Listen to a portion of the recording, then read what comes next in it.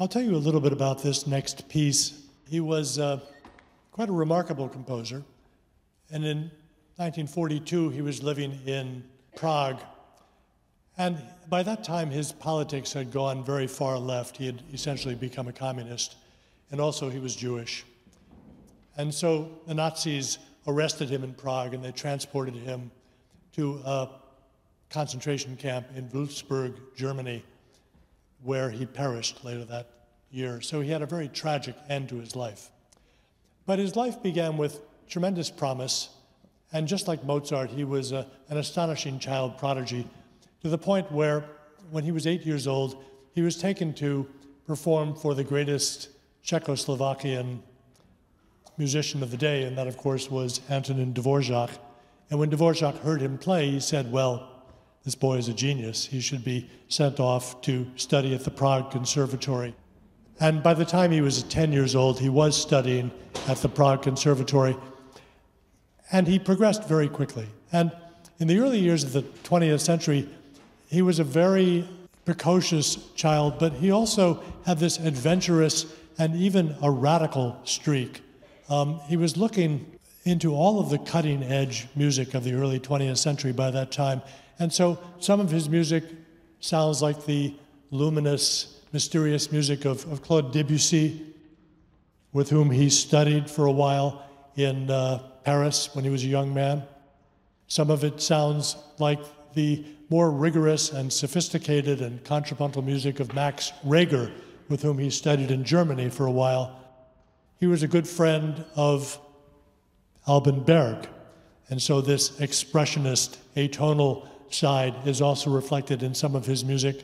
And he admired his countryman, Leos Janáček, and this sort of folkloric modernist style. And he liked the music of Strauss. And he had this astonishing, almost chameleon like ability to write in the style of whomever he was emulating.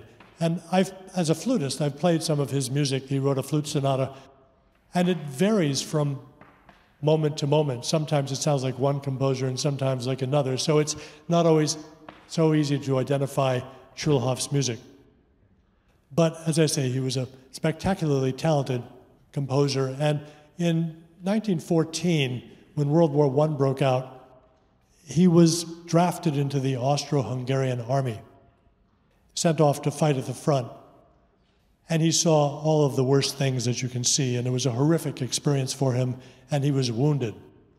And this experience in World War I further radicalized him, both politically, he became a communist, and also uh, musically. And so he moved to Berlin after the war, and post war Berlin was an extremely uh, radical place, both politically and also musically. And one of the attractions of being in Berlin is that in post war Europe in general, Paris and Berlin in particular, American jazz musicians found a lot of audience there. And he grew to like jazz very much, and being a musical chameleon, he learned to play jazz. So he played good jazz piano, apparently. And one of the musicians that he met who was coming through Berlin was a jazz saxophone player named Billy Barton.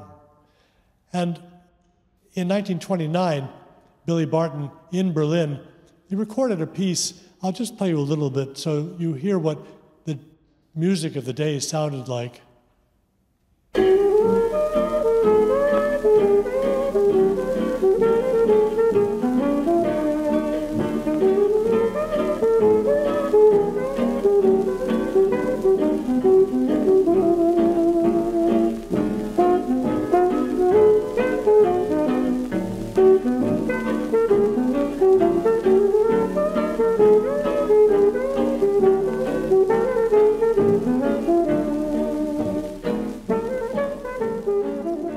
So this was the sound that he had in his ear when the following year, in 1930, Berlin Radio called him up and said, Why don't you write a piece? We'll commission it from you to play on the radio with Billy Barton.